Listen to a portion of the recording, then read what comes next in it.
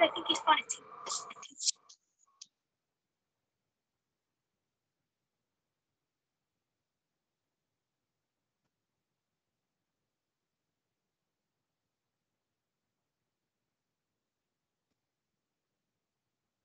Good evening, ladies and gentlemen. Welcome to lecture five of Cricket South Africa's level one umpiring course presented by Western Province Cricket Umpires Association. My name is Tom Mokorosi. I will be taking you through laws 26, 27, 28 this evening, and then I'll be followed by my co-presenter, Abdullah Steenkamp, who will take us through laws 29, 30, and 31. Just a reminder of meeting protocols. Please all mute your microphones.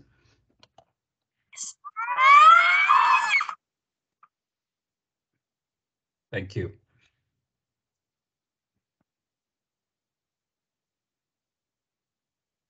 Questions will be taken at the end of the presentation where you will be allowed to unmute your microphone and ask any questions.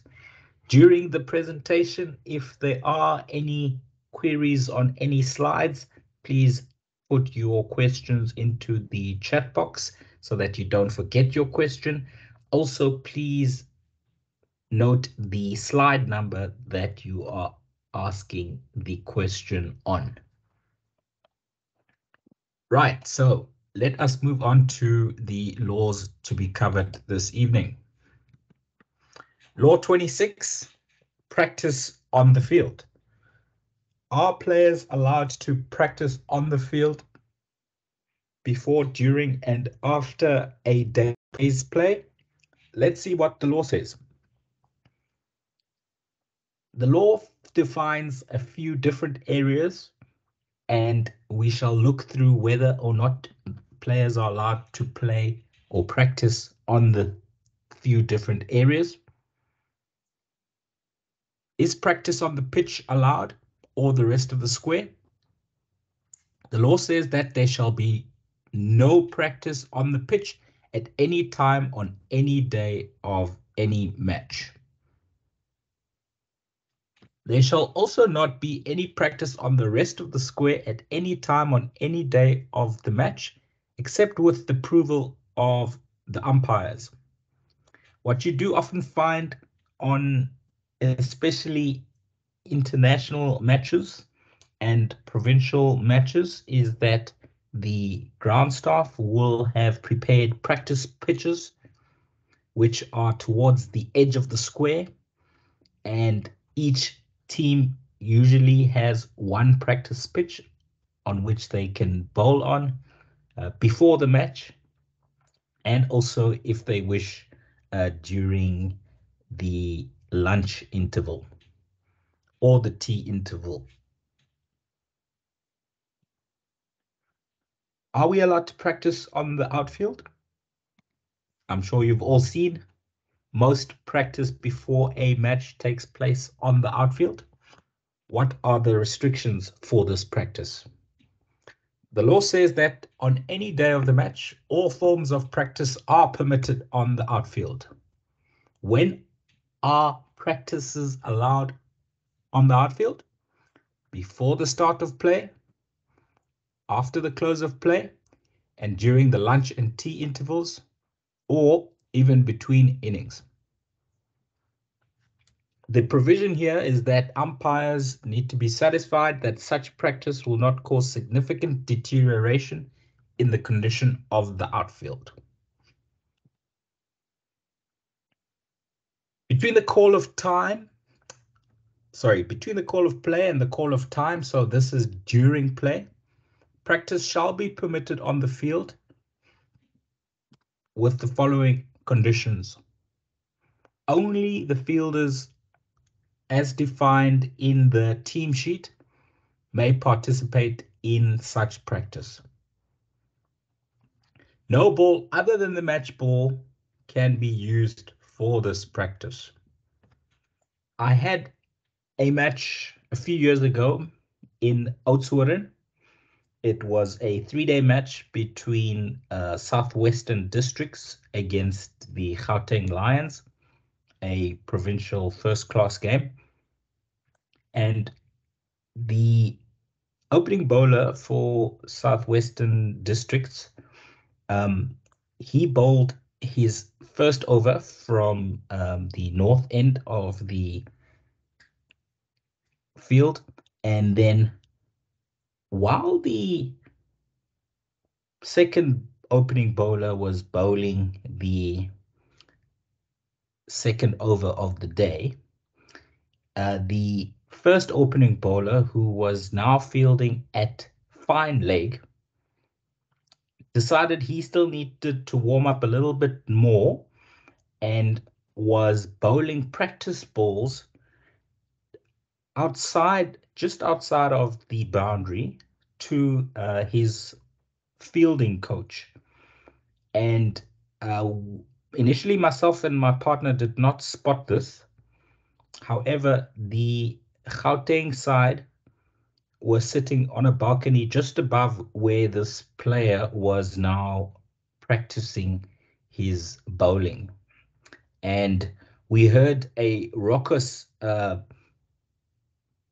from the Gauteng players who were obviously complaining about uh, the Southwestern District opening bowler practicing on the side of the field with practice balls and his fielding coach. Uh, so we had to intervene and we had to tell him that this was not allowed. Practice is only allowed with the match ball and is only uh, and cannot waste time. Uh, that is the next provision that uh, we will have a look at. Uh, no bowling practice takes place in the area between the square and the boundary in a direction parallel to the match pitch.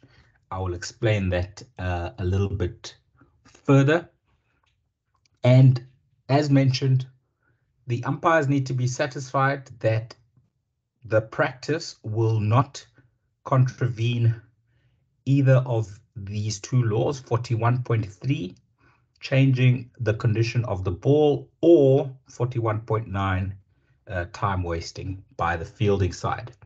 So let's go back to that picture of the uh, square. Uh, so what law is telling us here is that uh, if we do not have, uh, uh sorry, when the bowler practices his uh, bowling action, he cannot bowl parallel to the pitch, the match pitch, uh, anywhere um, from one end of the boundary to the other end of the boundary. Uh, that 20, let's call it 25 meters, including uh, the area behind the stumps. Anywhere parallel to that, uh, the bowler cannot bowl on that particular area. So typically what you'll find is a bowler, whether fast bowler or a um, spin bowler, they will bowl their practice deliveries to uh, mid-off and mid-on, who are in this picture uh, very close to us, or let's say the bottom of the particular picture, either to the right or to the left. That's where the bowler will bowl his or her practice deliveries too. And uh, one thing that we also have to uh, police as umpires to make sure that the condition of the ball is not changed is that that practice delivery uh, should, strictly speaking, be off the ground. Okay, so in the air, bowled from the bowler to the fielder uh, without a bounce because uh, that bounce, especially if it's a rough outfield, uh, could lead to the unfair changing of the condition of that particular ball. Okay. Are bowlers allowed a trial run-up? Yes, they are. A bowler is permitted to have a trial run-up provided that there is no time wasting by that fielder and he or she does not damage the pitch. Now, we have seen what the law allows and disallows in terms of practice. What happens if a fielding side is guilty of illegal practice? The law has certain penalties for this. Firstly, all forms of practice are subject to Law 41.3, 41.9, and 41.12. They should not change the condition of the ball unfairly. They should not waste time and they should not damage the pitch when practicing. If there is a contravention of any of these practice methods allowed, the umpire shall warn the player that this practice is not permitted, inform the other umpire, and as soon as practical, both captains for the reason for this action. If the contravention is by a batter at the wicket, the umpire shall inform the other batter and each incoming batter that the warning has been issued and the warning shall apply to the batting side for the remainder of that innings.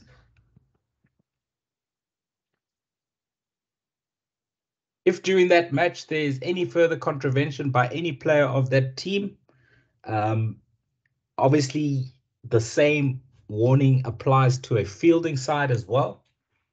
If they contravene any practice The umpire shall then award five penalty runs to the opposing side, inform the other umpire, the scorers, and, as soon as practical, both captains.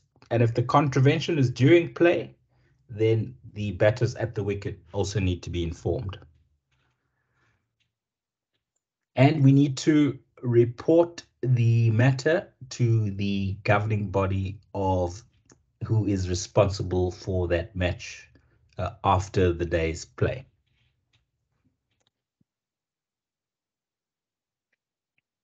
So that's practice on the field. Done and dusted. Now we move on to law 27, which is the wicket keeper. The wicket keeper has got protective equipment that he or she is allowed to wear according to the law. The wicketkeeper is the only fielder permitted to wear gloves and external leg guards. We have all seen fielders fielding close to the bat, your silly mid off or your short mid wicket. They quite often wear uh, shin pads, and those shin pads need to be covered by the pants. So they are not external, but are underneath the pants and are not visible externally. If the wicketkeeper wears gloves and or external leg guards, they are to be regarded as part of his or her person as long as they remain worn. Okay and we will come to illegal fielding later in this evening's presentation. If by the wicketkeeper's actions and positioning, when the ball comes into play, it is apparent that he or she will not be able to carry out the normal duties of a wicketkeeper, he or she shall forfeit this right of wearing the protective equipment and being recognized as a wicket keeper uh, for the purposes of uh, stumped and um, limitation of onside fielders, as well as encroaching of the pitch. So it does happen quite often in six-a-side cricket for those of you who still play or umpire six-a-side cricket, where they want to use the wicketkeeper as a fielder on the boundary. Um, now, it's not really still a wicket keeping position if the wicket keeper is on the boundary. So strictly speaking, if a wicket keeper were to go field on the boundary, the law allows him or her to do so, but they should remove their protective equipment, which is the external leg guards, as well as the um, gloves that they might have on. Let's have a look at the gloves that the wicket keepers are allowed to wear. Many years ago, when I first started watching cricket in the 1992 World Cup, uh, South Africa's wicketkeeper was Dave Richardson. And he used to have these big brown leather gloves with webbing between all five fingers. Here you can see that there is webbing between the thumb and the index finger, but there is no webbing allowed between the other fingers, okay?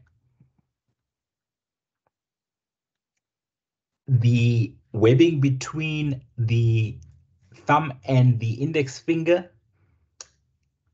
cannot be a stretch material. It used to be a lot bigger and a lot more flexible, almost uh, similar to the pouches that you find on a baseball mitt. Uh, but that is no longer allowed. That material needs to be non-stretch. When the hand wearing the glove has the thumb fully extended, the top edge being taut and not protruding the straight line joining the top of the index finger on the top of the thumb. So what that's saying is if you look at the top of the right-hand glove, which is the glove at the top, uh, that is a straight line between the thumb and the index finger. Um, previously, like I mentioned, there used to be a pouch that used to extend above the thumb and the top of the index finger to make for easier catching or at least a larger surface from which the wicketkeeper could catch the ball with. Uh, that is no longer permitted uh, what is permitted is a straight line between the thumb and the index finger and again importantly no stretch material. That's going to be a tough piece of rubber that the glove is made out of. Where is the wicket keeper allowed to stand? Let's look what the law says the wicket-keeper shall remain wholly behind the wicket at the striker's end from the moment the ball comes into play until a ball is delivered by the bowler and it either touches the bat or person of the striker or passes the wicket at the striker's end or the striker attempts a run. So until either of those three incidents occur, then the wicketkeeper needs to remain completely wholly behind, uh, let's call it the bowler's crease. Um, the, the law here says he or she needs to remain wholly behind the wicket. Um, so some people misinterpret that saying that thinking that he or the wicketkeeper needs to be directly behind the stumps. No, that is not the case. You quite often see that wicket keepers stand a little bit outside the off stump because that's where they um, imagine or expect the bowler to mostly bowl their deliveries.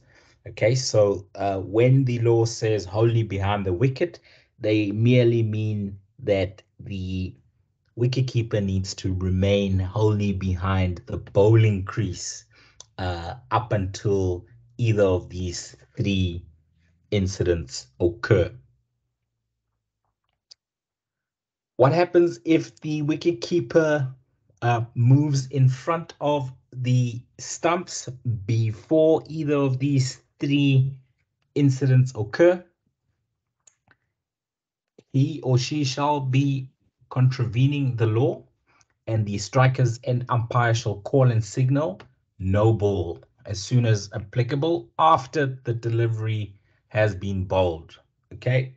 Remember, Abdullah took us through the no ball law last week, and you can only call no ball if a ball has been delivered. Let's get further insight onto the restrictions of the position and the movement of a wicket keeper from the Cricket Digest. Abdullah, please let me know if there is no sound on the video.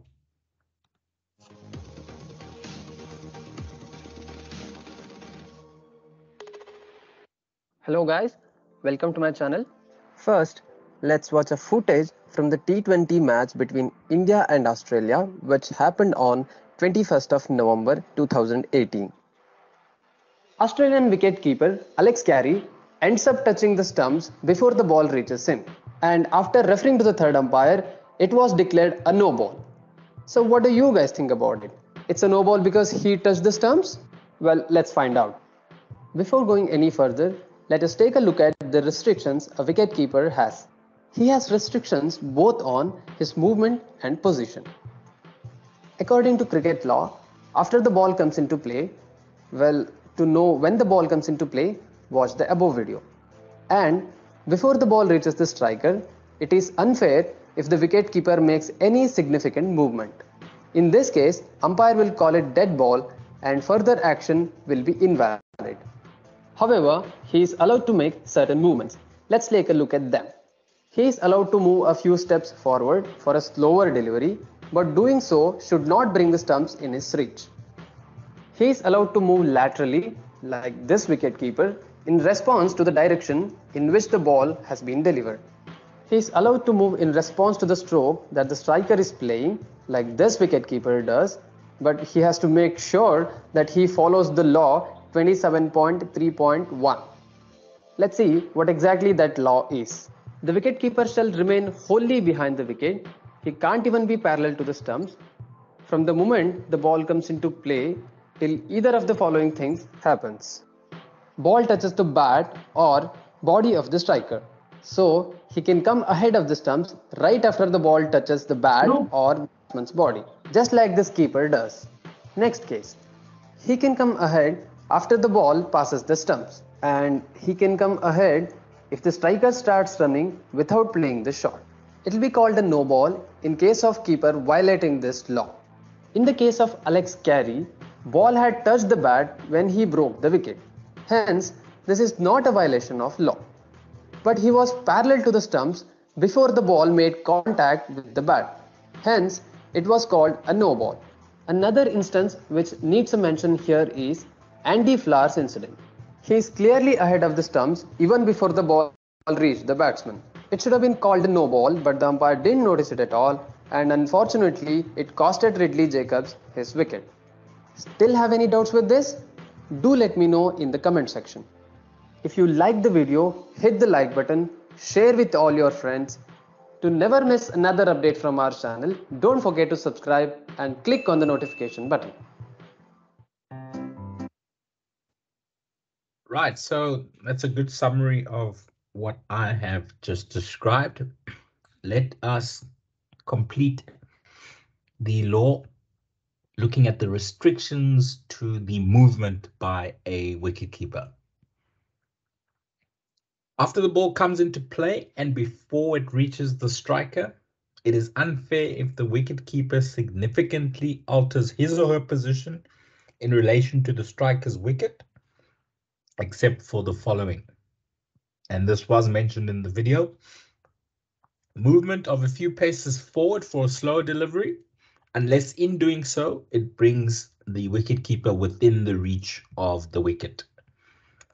What's also allowed is lateral movement in response to the direction in which the ball is being delivered, as well as movement in response to the stroke that the striker is playing or that his or her actions suggest that he or she might play. What do we do if there is illegal movement by the wicketkeeper? Either umpire shall call and signal dead ball and inform the reason, inform the other umpire of the reason for this call. Now, the change of laws effective 1st of October has also brought extra punishment for this. The bowler's end umpire shall award one penalty run for wide or no ball if applicable. That hasn't changed. This is new. We now award five penalty runs to the batting side for the illegal movement by a wicket keeper. Okay, no warning on this. Uh, so the wicket keepers need to be aware of this law and the lawmakers have decided to make it instantly punishable by five penalty runs. So quite a serious offense now. We need to inform everybody and also report the incident after the day's play. Here we have a picture of uh, Bangladeshi wicketkeeper from a test match in 2017 played against South Africa in South Africa at uh, the Senwes Oval, as it was known back then. It is now called JB Marks Oval, where Abdullah is uh, currently officiating. So we see that Temba Bavuma has played a lap sweep, and the wicket keeper's starting position would have been uh, somewhere behind uh, middle and off stump for the spinner. And now, just as Bavuma plays the shot, the wicketkeeper is a couple of meters down leg side, uh, almost at the return crease, and he ended up taking a brilliant catch to dismiss Temba Bavuma because that ball went off the bat straight in the air and into the wicketkeeper's gloves. So is that legal or is that illegal? Um, please, guys, the catch was fairly taken. Uh, type in your answers. Uh, say to me uh, out caught or uh, dead ball and five penalty runs for illegal movement. Uh, what do you think, having just seen all of the uh, video as well as the law described to you in the previous few slides. Uh, let's engage. Let us make a decision. Out caught or dead ball and five penalty runs to the betting side. Please punch in your answers in the chat box and we shall look through it after the presentation. Lastly, on the wicketkeeper law, what happens if the wicketkeeper interferes with the striker or the um, striker interferes with the wicketkeeper? Law says that if in playing at the ball or in the legitimate defense of his wicket, the striker interferes with the wicketkeeper, he or she shall not be out except possibly for obstructing the field and the ball from being caught. Okay, if there's an appeal, then the umpires would have to make a decision on obstructing the field, um, not of um, hit wicket or hit the ball twice, because a better. We will learn on Wednesday, tomorrow. A striker is allowed to hit the ball twice in defending his or her stumps, except if it prevents a catch from being taken, and that catch would normally be taken by the wicketkeeper standing up to the stumps for a spin bowler. Okay. Moving on to law 28, which is the fielder. And what you will notice is that similar principles apply for the movement and the positioning of fielders uh, versus the wicketkeeper. Because remember that a wicketkeeper is a fielder as well. Of course, there are more restrictions as well to the outfielders that we shall now look at. Before we go into the law, another pop quiz. I won't ask you for the answer because I'll show you the answer in the video, uh, but think about it quickly. Is a normal fielder allowed to use wicketkeeper equipment? Let us see via this video whether it is allowed or not.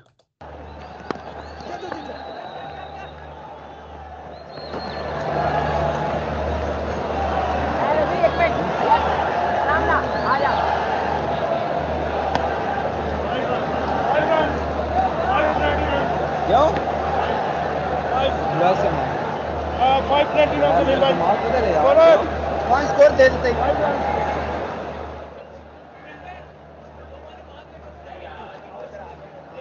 Babar Azam wearing a glove and actually caught the ball and then that was deemed illegal fielding. As you can see at the bottom of the screen, right, the first delivery, there's five penalty runs and that's because of illegal fielding because Babar Azam picked up Rizwan's glove and used it to catch the ball, to catch Okay, so as you all know, Babar Azam is captain of Pakistan and is not a wicketkeeper. But what you saw there is that uh, the wicketkeeper going to field the ball removed his glove, Rizwan, and put it on the ground. And then Babar Azam jokingly picked up the glove put it on, and then as the throw came in from Rizwan, Babar Azam caught the ball with the wicketkeeper glove on, which does not belong to him. And the umpires rightfully awarded five penalty runs to the fielding side, sorry, to the batting side, which is the West Indies. And as you saw there, the Pakistani players were quite bemused. They didn't know why. It just goes to show that even international captains do not know the laws of cricket because this law has been around for a long time and this incident happened uh, a few months ago. And so great that the commentators at least knew the law and they were able to explain it quite clearly. Um, but guys, make sure that you know your laws and apply them correctly and are able to verbally mention to the players what they've done wrong and the punishment for their mistake. Okay, so that is why it's critically important for us as umpires to know our laws, and that is why the pass mark for all of our exams is 80% um, because we need to know our laws through and through. So I'm just going to play it one more time for you guys to see that uh, Rizwan left his position as the wicket keeper, took his glove off, threw the ball in, and by that stage, Babar Azam had put the glove on, and that is why Pakistan were nailed. Five penalty runs awarded to the batting side, the West Indies.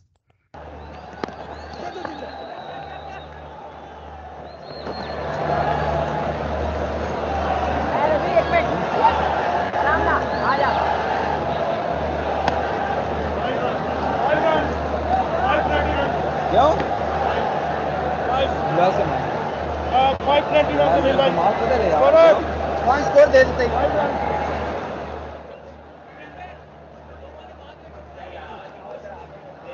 Azam wearing a glove and actually caught the ball and then that was deemed illegal fielding. As you can see at the bottom of the screen, right, the first delivery, there's five penalty runs. And that's because of illegal fielding, because Babar Azam picked up Rizwan's glove and used it to catch the ball, to catch Okay, hope you all understood that. So, how is a fielder allowed to field the ball? The law says that a fielder may field the ball with any part of his or her person. However, he or she will be deemed to have fielded the ball illegally if while the ball is in play, he or she willfully, and that word willfully is quite important, uses anything other than part of his or her person to field the ball. It will also be regarded as illegal fielding if the fielder extends his or her clothing and uses this to field the ball. And we've got a nice picture to illustrate that point. It'll also be illegal fielding if the fielder discards a piece of clothing, equipment, or any other object which subsequently makes contact with the ball. So let me give you an example of that. Uh, you noticed that uh, Rizwan discarded his glove as he was running after the ball so that he could throw the ball easily with a glove off. Um, if Rizwan had thrown at the stumps and the ball had hit the glove on the floor that he had discarded, then that would also be considered illegal fielding. Why? Because he willfully discarded a piece of equipment which subsequently made made contact with the ball. Okay, so forget about uh, Babar Azam getting involved there. Just imagine that Rizwan had discarded his glove as he did, ran after the ball, picked the ball up, threw the ball towards the stumps, and the ball bounced on the glove that had been discarded. That is also considered illegal fielding and also punishable by five penalty runs awarded to the batting side. Okay. Uh, similarly, if a cap is discarded by a fielder when he or she is chasing after a ball, um, it feels or seems like fielders think that if they discard their cap, they will run faster. So they quite often discard their cap uh, we as umpires just need to be careful whether that cap was willfully discarded, removed from the top of the fielder's heads um, by the fielder, or if it blew off by the wind generated by the fielder running. Okay, if the cap flies off by mistake because of the wind generated by the fielder running, and then the fielder throws the ball in and it hits that cap, it shall not be regarded as illegal fielding because that cap came off the head uh, accidentally. If, however, that cap came off the head because it was willfully discarded by the fielder and the ball is thrown against the willfully discarded cap, then it will be five penalty runs. Okay, so that is why I mentioned earlier the word willfully is very important. There, it's stated in the law, it is not illegal fielding if the ball in play makes contact with a piece of clothing, equipment, or any other object which has accidentally fallen from the fielder's person. This here is quite willful um, extending of a fielder's clothing. Okay, that's point number two. So that is considered illegal fielding. So how do we as umpires handle illegal fielding? The law tells us that if a fielder illegally fields the ball, the ball shall immediately become dead. We came across this in the dead ball law last week, and Abdullah did mention that in such cases, even though the ball becomes automatically dead, it is good umpiring practice for you to call and signal dead ball. Why? Because the players, as we've just seen in the Rizwan and Babar Azam incident, the players do not know these laws. So you calling and signaling dead ball is going to make them aware that the ball has become dead and they will now know that punishment is coming their way. As always, the penalty for a no ball or wide shall stand, if applicable, and any runs completed by the batters shall be credited to the batting side together with the run in progress if the batters had already crossed at the instant of the offense. Okay. The ball shall not count as one of the over. The umpires shall award five penalty runs and we shall inform and report. Okay, so quite harsh punishment for illegal fielding. That is why players need to be educated about it. Now, what happens if the wicket keeper, as you saw, Rizwan had a helmet, but when a fast bowler is bowling, what does a wicketkeeper He or she stands back and discards his or her helmet and puts it behind the wicket keeper during that over when the fast bowler is bowling. So what happens if the ball hits that helmet that is behind the wicket keeper. The law says that protective helmets, when not in use by fielders, should be placed on the ground behind the wicket keeper and in line with both sets of stumps. Why? Because that is quite an unlikely place for the ball to end up. If, however, a protective helmet belonging to the fielding side is on the ground and the ball, while in play, strikes it, the ball shall immediately become dead, but good umpiring practice is for either umpire to call and signal dead ball. Why? Because A, not all players know this law, but also B, not all players or both umpires will see the ball hitting the wicket keeper's helmet, which is behind the wicket keeper on the ground. Okay, uh, it's happened to me before in a game. Uh, I was a striker's end umpire, and the bowler's end umpire did not see the ball hitting the helmet behind the wicket keeper. So I had to call uh, and signal dead ball and inform him that the ball had hit the helmet behind the wicket keeper. And then he signaled five penalty runs to the scorers. There it is. We need to award five penalty runs to the batting side.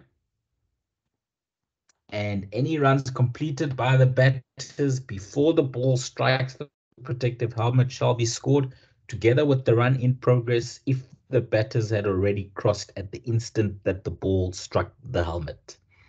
Okay, so even if they haven't completed that run, as long as they had crossed when the ball hit the helmet behind the wicketkeeper, they shall be credited with that run. Um, could be a bye if the ball didn't strike the bat. And they will be credited five penalty runs. The wicketkeeper has got restrictions for movement and so do all the other fielders. Let us see what these restrictions are. Any movement by any fielder, excluding the wicket keeper, after the ball comes into play and before the ball reaches the striker is unfair, except for minor adjustments to stance or position in relation to the striker's wicket. We all know from a young age when we played cricket, coaches always preach that the fielders should walk in with the bowler. So that is allowed. What is also allowed is movement by any fielder other than a close in fielder towards the striker or the striker's wicket that does not significantly alter the position of the fielder. So you cannot walk in so fast from extra cover that you are in a short cover catching position by the time the bowler delivers the ball.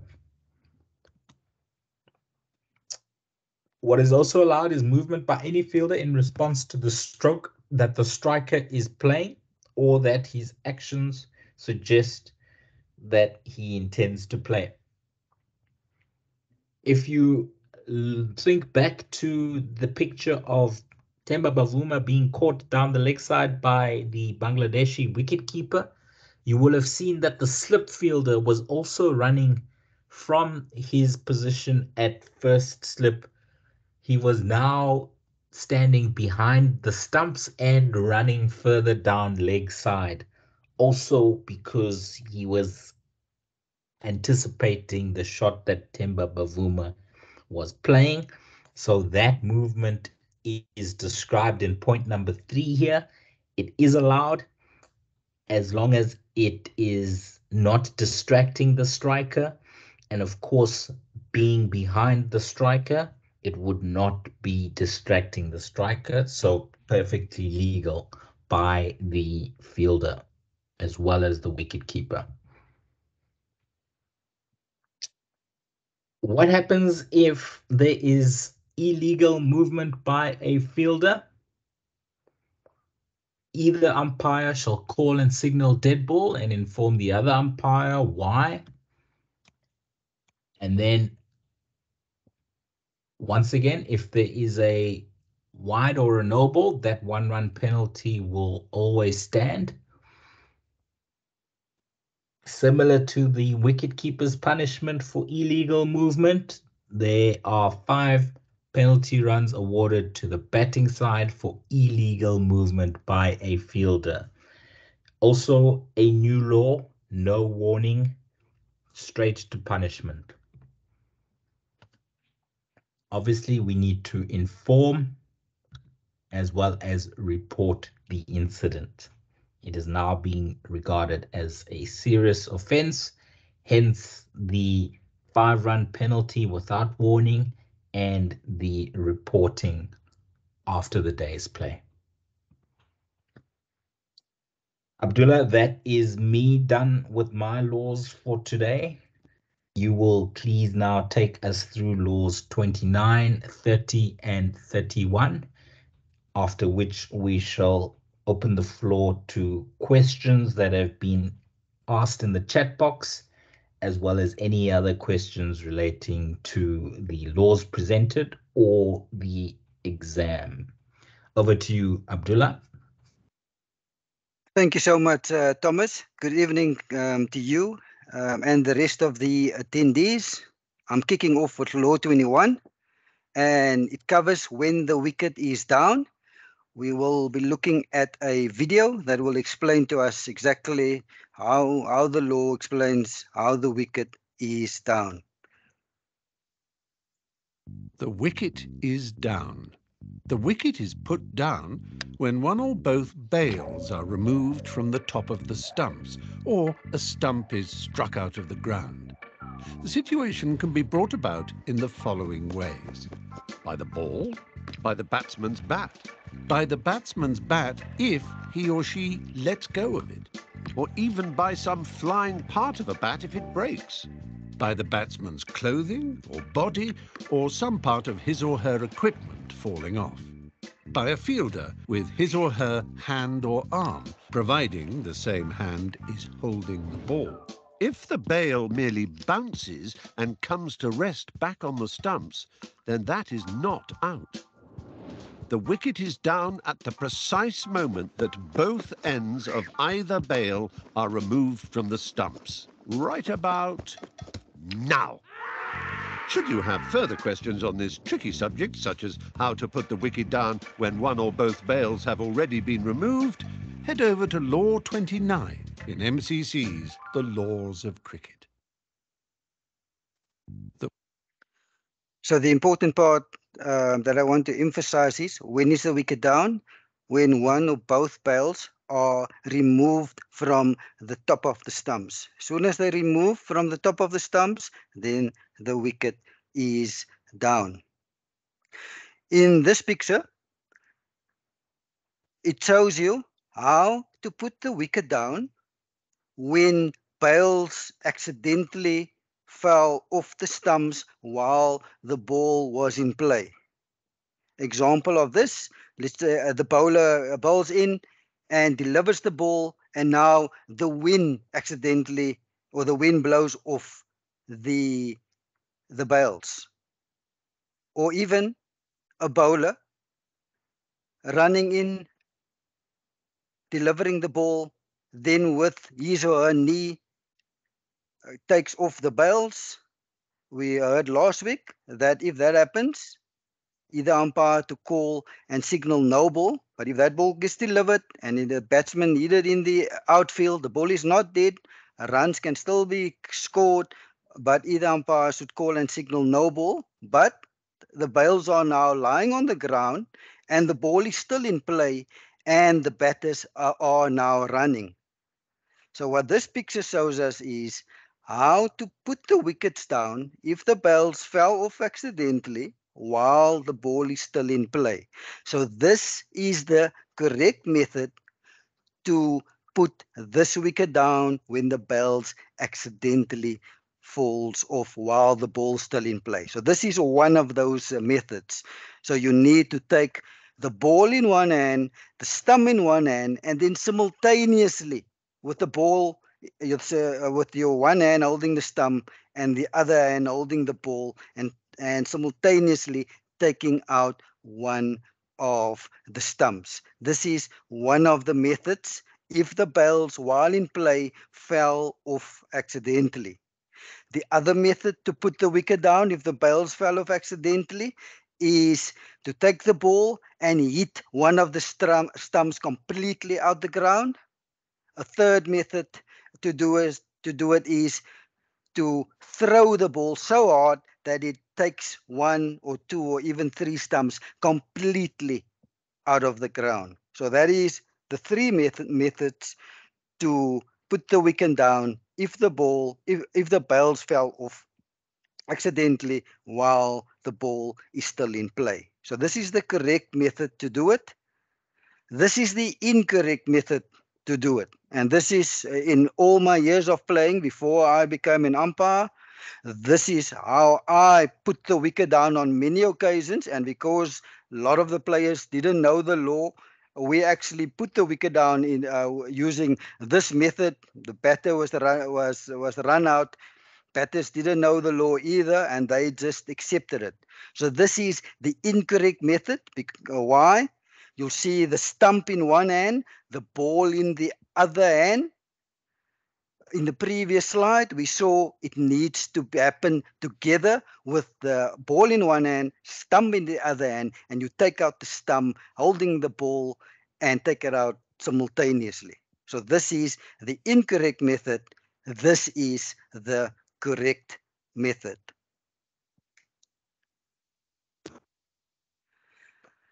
Is this wicket down?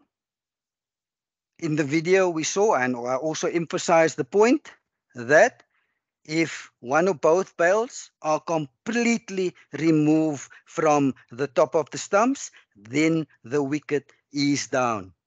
So ask yourself the question, is one or both bails completely removed from the top of the stumps? If your answer to that question is yes, then this wicket is down. So the answer to that question is yes, the one bail is completely removed from the top of the stump. So yes, this wicket is down. Also, if while the ball is in play, let's say only one bail, whether accidentally the wind, let's say the wind blows it off, or the the the bowler um, accidentally in in his or her delivery stride only took off one ball, bowled the ball, the the the batter uh, uh, hit the ball into the covers and they start running. How do you put the wicket then down if there's only one uh, bail on it? Do you need to remove uh, the stump with one ball with the ball in one hand and the and uh, the ball in one hand and the stump in the other hand and, and simultaneously remove it? In this case, the law say no. Why? If there's still one bail on the stumps in the groove, to put this wicket down, all you need to do is to remove the other bail. It's only if both bails, while the ball is in play, the wind blew it off, or the bowler uh, uh, took it off with his or her uh, foot or hand, then you need to to to put the wicket down. You need to then remove the stump simultaneously with the ball in one hand uh, ball in one hand and the stump in the other, as in the first picture. But if there are still one bail left on the stumps or in the groove, to put this wicket down, don't need to take a stump out of the ground. All you can do is uh, remove the other bail. You will then put the wicket down. When is a batter out of his or her ground. Let's look at the video and see what the law say when this happens.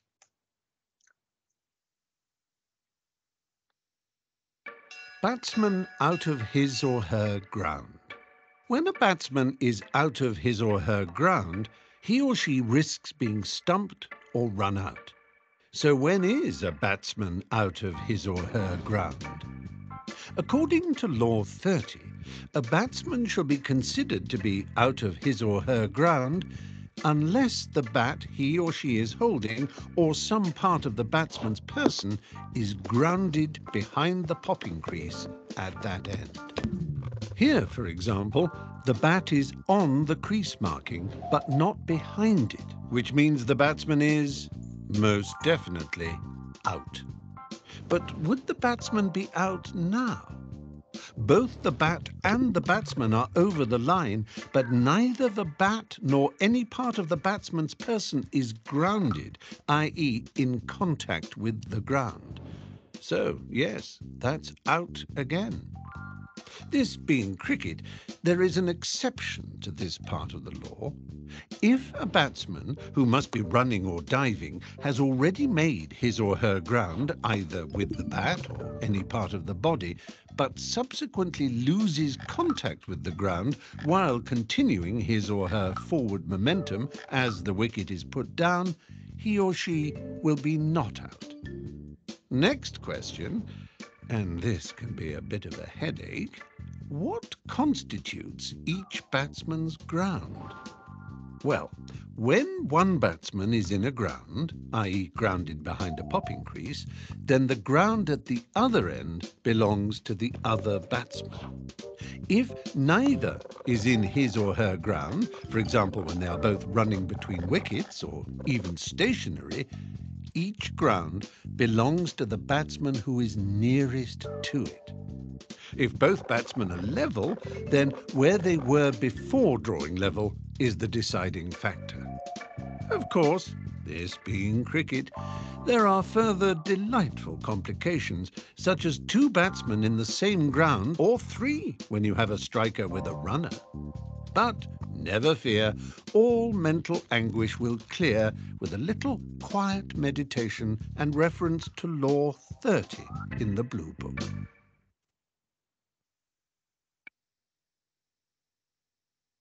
So where shall the non-striker be positioned when a ball gets delivered? The law guides us here by telling us that the non-striker, when standing at the bowler's end, should be on the opposite side of the wicket to that from which the ball is being delivered, unless the batter asks the umpire if he or she can stand on the other side. But otherwise, the non-striker must stand on the opposite side from which the ball is being delivered.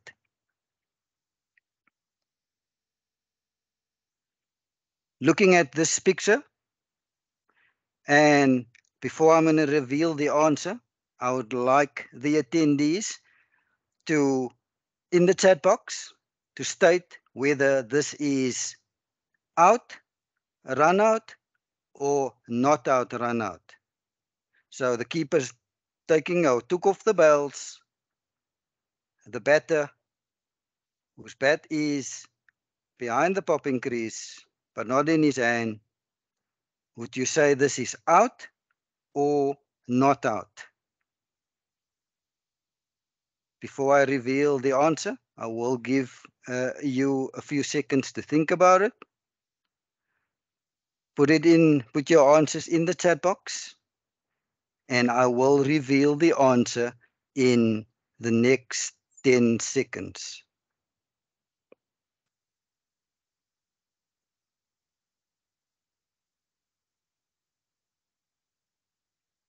Okay, 10 seconds is almost up. I will now be revealing the answer.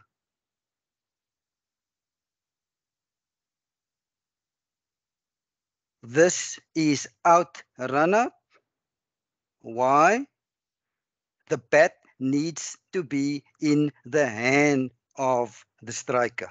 Because this bat is not in the striker's hand, even though it is behind the popping crease, because this bat is not in the hand of the striker, that's the reason why this uh, the batter in this picture is is out.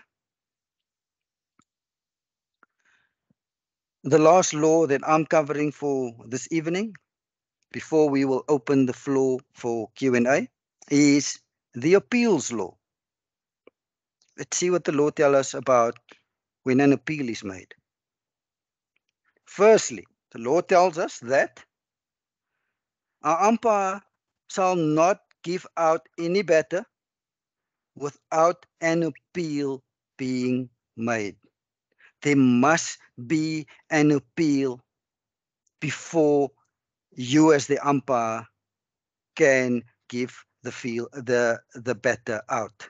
So just to confirm again, even though you hear a uh, your batter plays at the ball, you hear uh, the nick, you 100% convinced that this better has hit the, the ball, but there's no appeal. And believe me, it actually happened on more than one occasion. You hear this clear nick, uh, batter playing away from the body. I hear this nick. For whatever reason, none of the, uh, the fielding side members appealed. Even though the batter touched the ball, according uh, to my uh, to me, uh, I could cannot lift my finger because the law guides us here by telling us there needs to be an appeal before you can give the batter out. Also, the law adds that, and you do find one or two honest batters out there, that at times, and I've actually seen this, uh, I've, uh, um, I've seen it once with uh, Hashim Amla in a test match, playing away uh, from his body. There was no appeal, but Hashim Amla put his bat under his arm and he walked off. There was no appeal, uh, but uh, Amla felt he touched the ball, and we all know Amla was an honest player. He then put the bat under his arm and walked off the field. So the law tells us in that case, if the batter, there's nothing stopping uh, the batter from leaving his or her wicket, even though an appeal has not been made. But there is one ex exception to, to this, and the exception will be in the next slide. So what is this exception? If a batter left his or her wicket under the impression that they are dismissed. What do you do in that case? The law tells us that the umpire needs to intervene if the umpire is satisfied that the batter, not having been given out, and that batter now left the wicket under uh, a misapprehension of being out. You know, I'll give you an example of this. It actually happened uh, to me on more than one occasion. So the law tells us if the batter thinks he or she is out and then leaves the wicket, but actually is not out, either umpire needs to intervene immediately by calling and signaling dead ball to prevent any further action by the fielding side. And the umpire then needs to inform this batter, batter, you're actually not out. I'll give you two examples to illustrate this point clearly. And it actually happened uh, to me on more than one occasion. First example, the bat, the uh, uh, it was a fairly uh, windy day.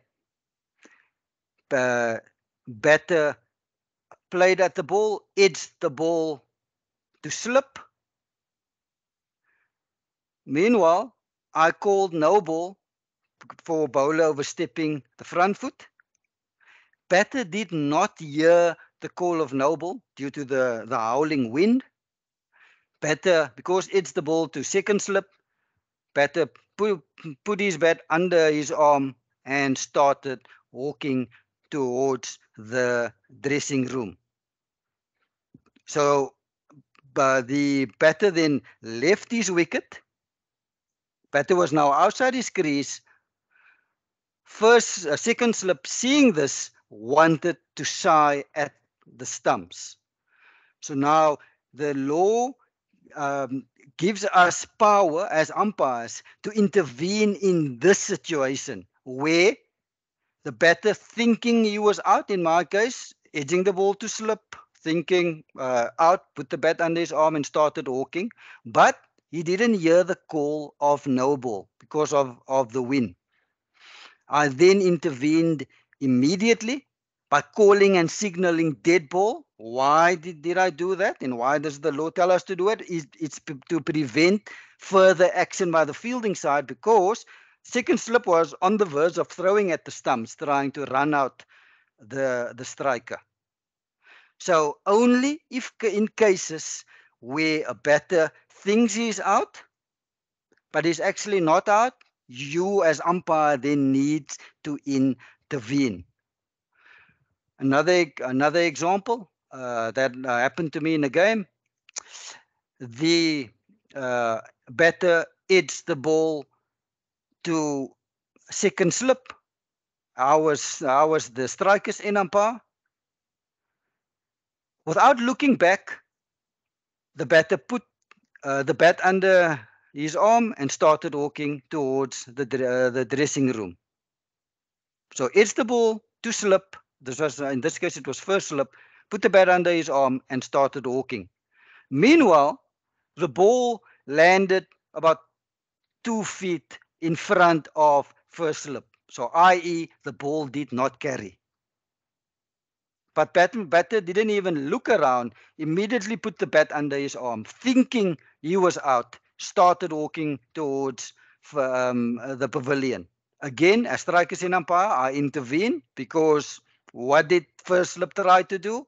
Seeing that the batter now, um, thinking he was out, on his way to the pavilion, the first slip tried to run out the batter. I intervened by calling and signaling dead ball. Again, an example, and only in these cases where batters thinking they're out, leave their wicket.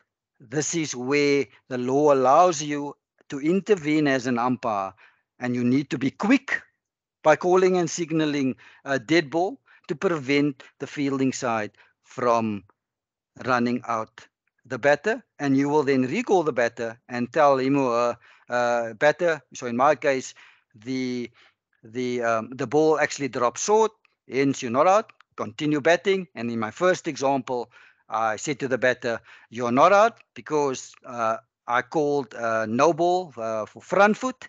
Um, uh, yes, you didn't hear it, uh, but you now may continue batting."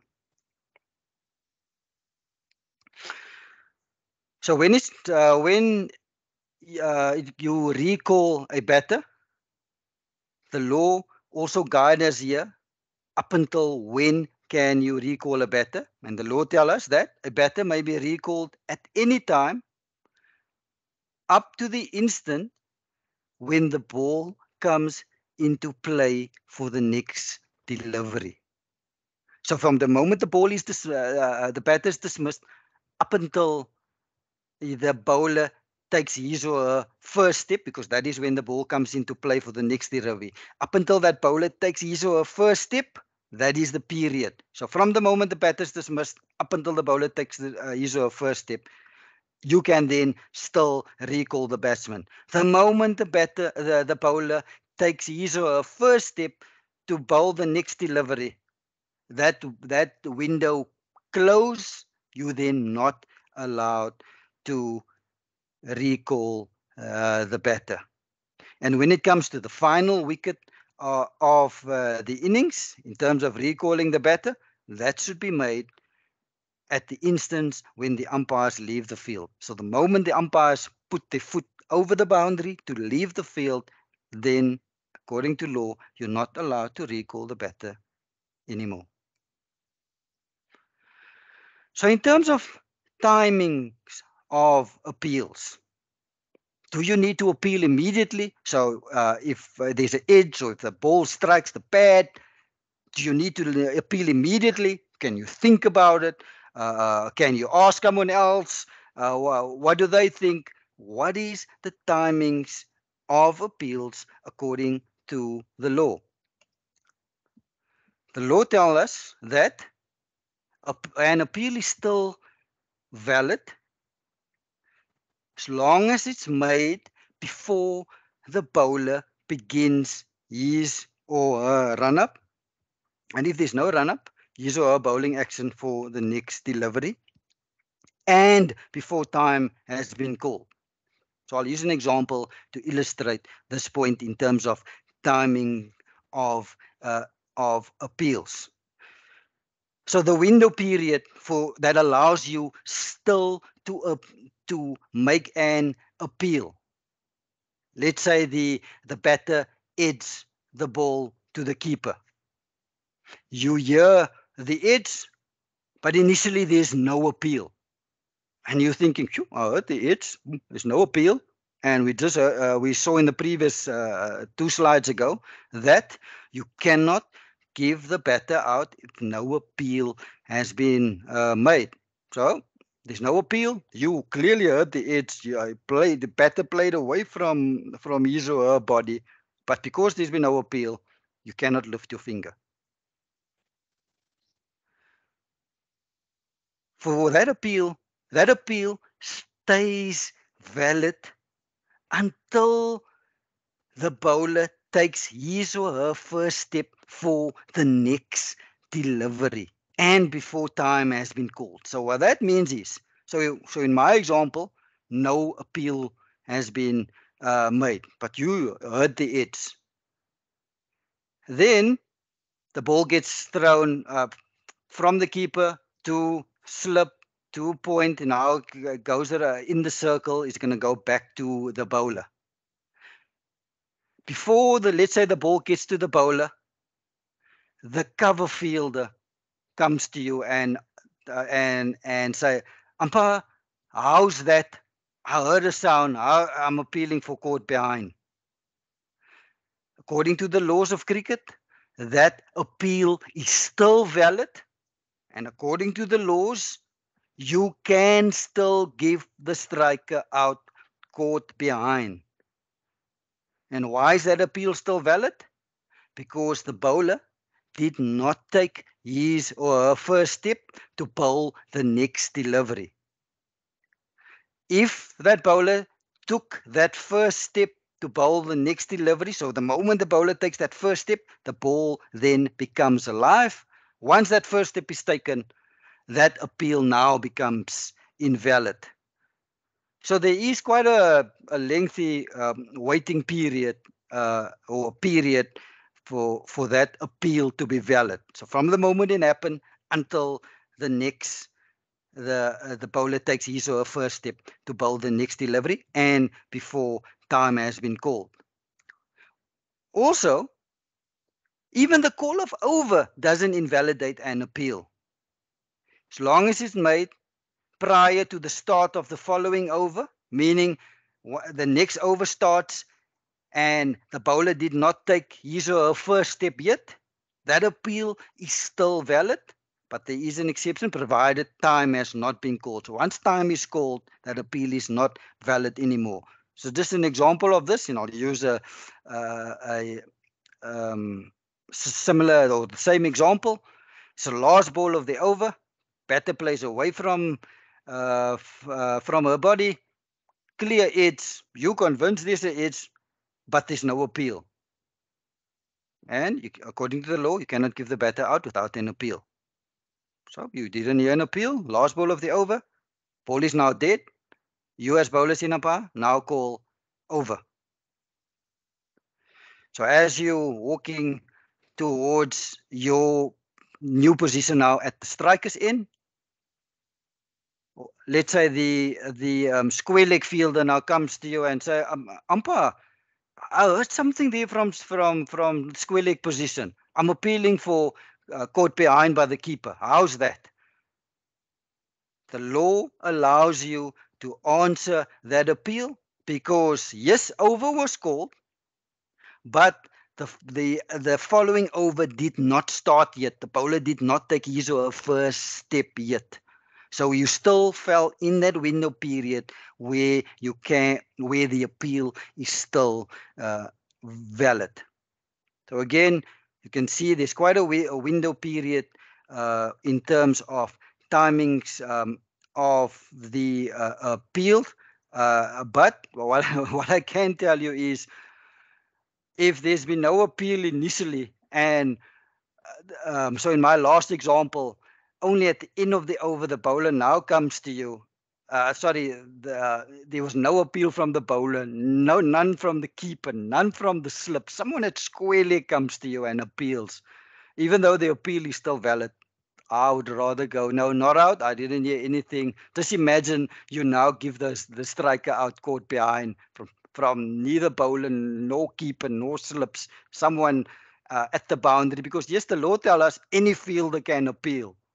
But just imagine there's an appeal uh, from square leg, none from the bowler, none from the batter, not, sorry, none, none from any of the slips, any of the close infielders. Someone on the boundary appealed. I will say no, not out, even though the the appeal is still is still valid. But uh, that's just a, a, a, a side note. But in terms of timings of appeal, yeah, I've just mentioned what the window period is. So how do you uh, appeal? The law tells us that an appeal of house that covers all ways. All you need to do is you need to appeal house that, and it covers all ways of appeals. You do not need to specify um, uh, house that umpire. I need to. I'm appealing for LBW, or I'm appealing for for how's that I'm appealing for caught behind or I'm appealing for stumping. You do not need to spec specify. The law tells us that. All you need to do when you appeal, all you need to say is how's that, and that covers all methods of uh, appeal. In terms of answering of appeals and who answers the appeals, the striker's end umpire, so they are, we'll next on tomorrow, we'll see there are nine modes of dismissals. Three of them needs to be answered by the striker's end umpire.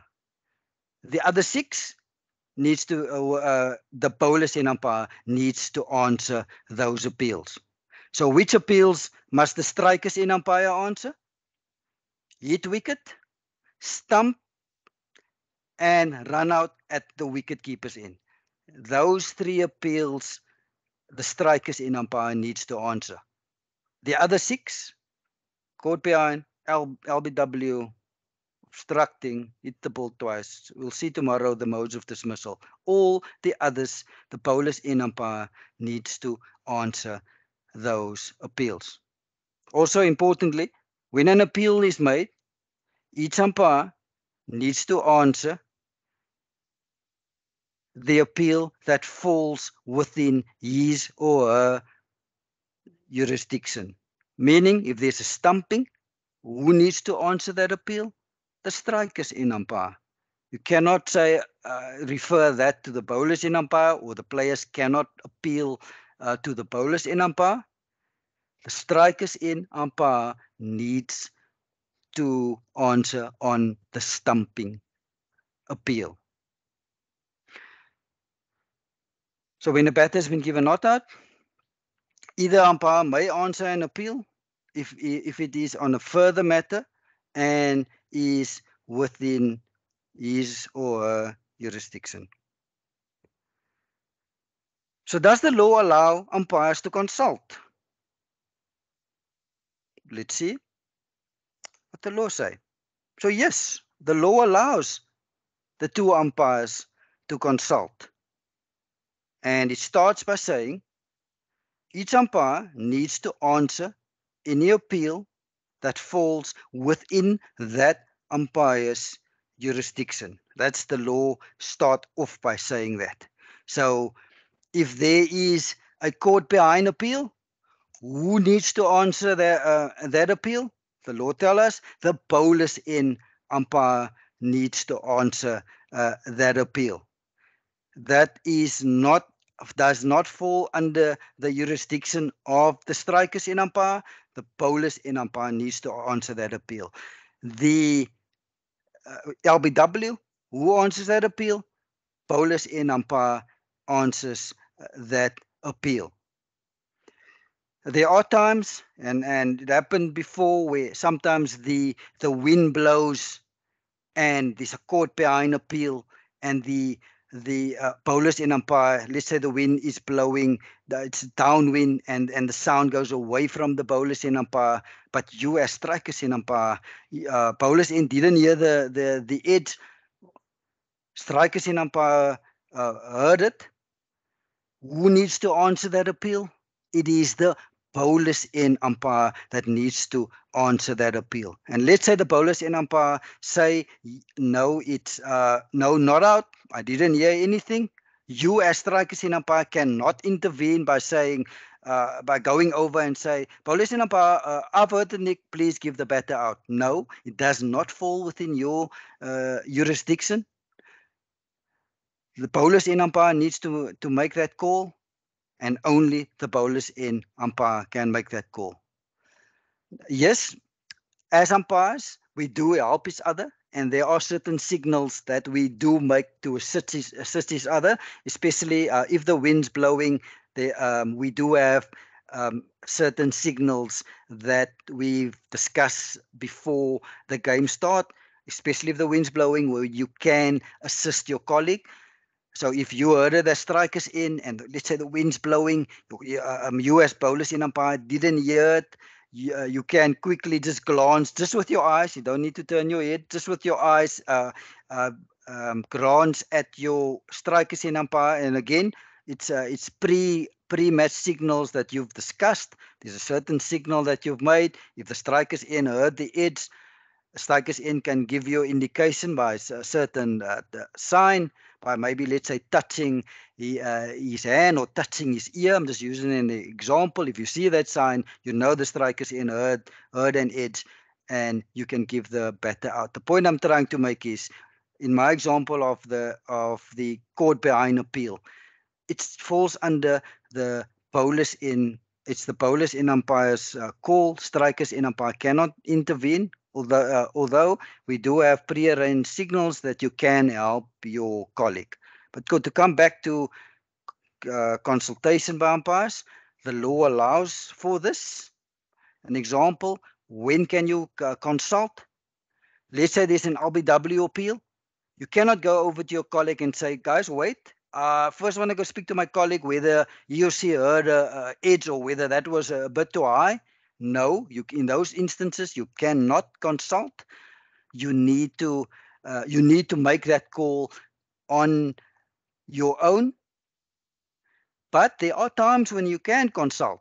An example of this: the ball, uh, the striker hits the ball to first slip.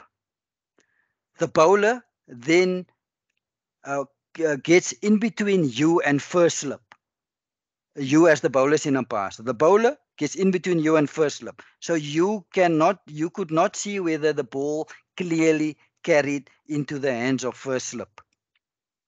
In this instance, you, the law allows you to consult your partner.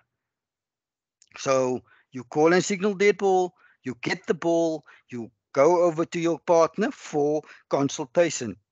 You tell your, your partner, Paulo was in my way, couldn't see whether the catch was clearly taken. Your partner will tell you, yes, I saw it clearly. The ball clearly went into the slip fielder's hands. You say, thank you. You can now give the batter out caught. So the, that's an example of where uh, uh, uh, the two umpires can consult about a decision. But there are instances like with the LB uh, appeal or the caught behind appeal, you cannot stop the game, go to your colleague if there's an LB appeal and consult and now uh, and now say, okay, I've consulted my colleague. My colleague says this bad. Okay, I'm now going to give no, not out. No, if it's an LB appeal, you need to give it out. But instances where, uh, in my example, you couldn't see if the catch was taken clearly, the law allows you to consult. And if after you've consulted your colleague, and let's say strikers can tell you, um, I'm not 100% sure, I don't think that ball carried, or I'm not sure the ball carried. If there is doubt, after consulting, the decision shall be not out. Are you allowed to withdraw an appeal? Yes, the law allows you. The law tells us that the captain of the fielding side is allowed to withdraw an appeal, but only after obtaining the consent of the umpire within whose jurisdiction the appeal fell. And if, you, if such consent is given, the umpire then shall revoke the decision and recall the batter. So yes, the captain at any time is allowed to withdraw his or her appeal. The law, the law allows for that. Again, there's a there's a window period for this withdrawing of an appeal, and that window period is that it needs to be made before the ball comes into play for the next delivery. So before the bowler takes his or her first step to bowl the next delivery, uh, that is when the that window period uh, um, ends. So it needs to be um, the appeal needs to be withdrawn before the bowler takes his or her first step for the next delivery. Or and if the innings has been completed, as soon as the umpires left the field, that appeal then cannot be withdrawn anymore. Let's look at an, uh, of an example that happened in uh, 2012 where an appeal was withdrawn. Putting on 162 for the third wicket. Then in the final ball of the session, incredible controversy. Eoin Morgan thought he'd scored four here after some clumsy fielding by Praveen Kumar. And the batsman began walking off the tee.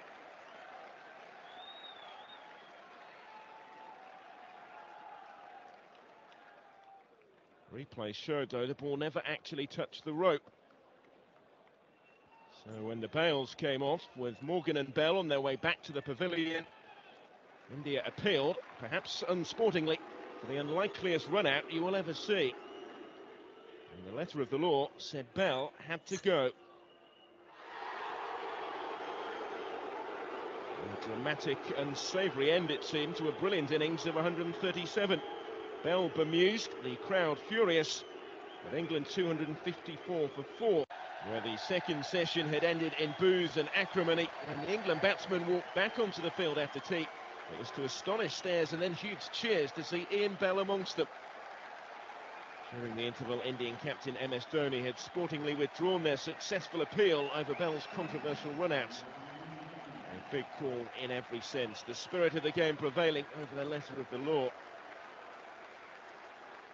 But England were determined to make their own headlines with their batting. Eoin Morgan bringing up his half-century in stunning Thank you so much, Tom. That is my section of the laws that I'm covering. I'm now handing uh, back to you. We can open now the floor for the Q&A session. Thank you, Abdullah. We have completed our presentation of laws 26 through to 31. I shall now go through the chat box to reveal questions that were asked during the presentation.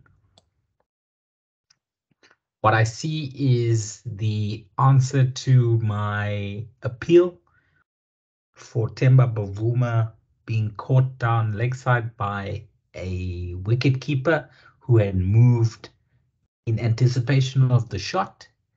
And everybody seems to have answered out caught. Uh, there are two no's, um, which I think was referring to the next question I asked. That was whether Babar Azam is allowed to use the wicket keeper's uh, glove, even though he is not wicket keeper. Uh, we saw the result of that particular incident was five penalty runs awarded to the batting side. So let's move on to the questions which have been asked. Uh, Sagar says, how does the change of wicketkeeper, how is it defined? Does the fielding side need to inform the umpire of the change and that the new wicketkeeper will be allowed to use gloves? Abdullah, you want to take that one? Yes, Tom. Uh, thanks, uh, thanks for your question. When it comes to changing of the wicketkeeper, any of the nominated players may keep at any time. So, of the 11 players, any of the nominated players can keep at any time. It's only when uh, the law tells us that if a substitute keeper uh, if a substitute wants to now keep wicket, that substitute needs the consent of uh, the umpires before the substitute is allowed to to keep. So, so that's uh, firstly. So, if there is a need to change the keeper uh, in the game, the any of the nominated players may keep. I've seen examples of this. I've experienced it. The uh, the the regular keeper is also a bowler, and now the captain feels like he he or she wants the keeper now to bowl a few off spinners. I've seen uh, example of this was uh, the, uh, one of the the reserve uh, keeper of South Africa, Heinrich Klaasen. He's also a fairly good uh, spinner, and there were times uh, where the captain asked uh, Heinrich Klaasen to take off the pads. Pads was taken by one of the other nominated players, and then Klaasen bowled a few uh, deliveries.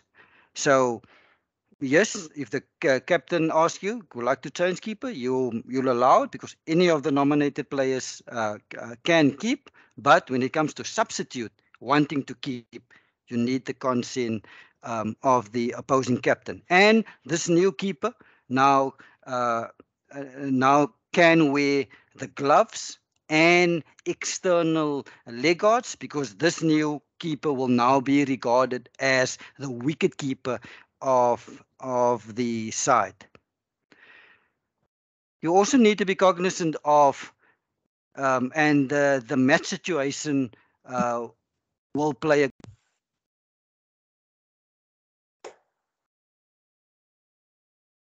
Abdullah, are you still there? Seem to have lost you. Let me just check if Abdullah is still on the list. looks like he has left the meeting. Um, so I think I'll just finish what he was saying about the match situation dictating. Um, Heinrich Klaasen being a spinner uh, would want to bowl in the fourth or fifth day of a test match. And remember that law allows a substitute wicket keeper to keep wicket. However, um, only by the consent of the umpires. And so it is not allowed to be a tactical substitution uh, to bring on a new wicket keeper. Um, for example, if um, Quinton de Kock, the normal wicket keeper for South Africa, was keeping wicket, and um, then they decided that they wanted Quinton de Kock to bowl. Um, he cannot, you cannot injure, uh, for example, if another player was injured, then a substitute comes on for that injured player, but not Quinton de Kock.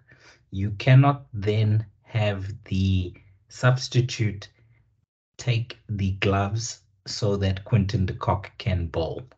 Okay, um, so a wicket, a substitute is allowed to keep wicket uh, only through injury and illness, not through a tactical substitution.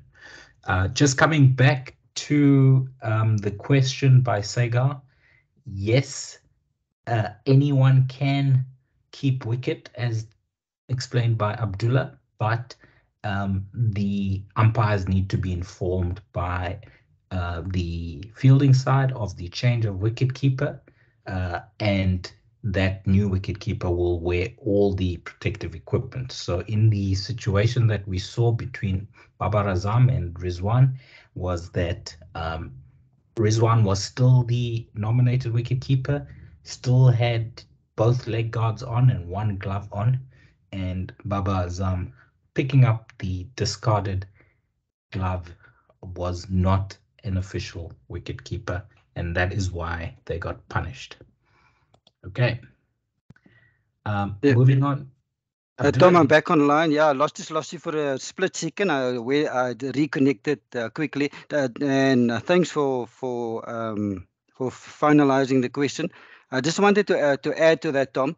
Sure. Um, you also need to be uh, just wary of uh, fielding captain maybe trying to waste time Hmm. by wanting to constantly change uh, wicket keeper. But the match situation you usually will dictate that dictate that. Let's say it's the uh, five day test match uh, last hour, uh, uh, close to the um, end of play, maybe they, the fielding side would want to waste time, and by now they ask you, uh, I now want player X to keep to to put on the pads. You allow it, and then a few hours later, the captain comes to you. Uh, now, but I now want player player Y to keep wicket. You just need to be wary match situation.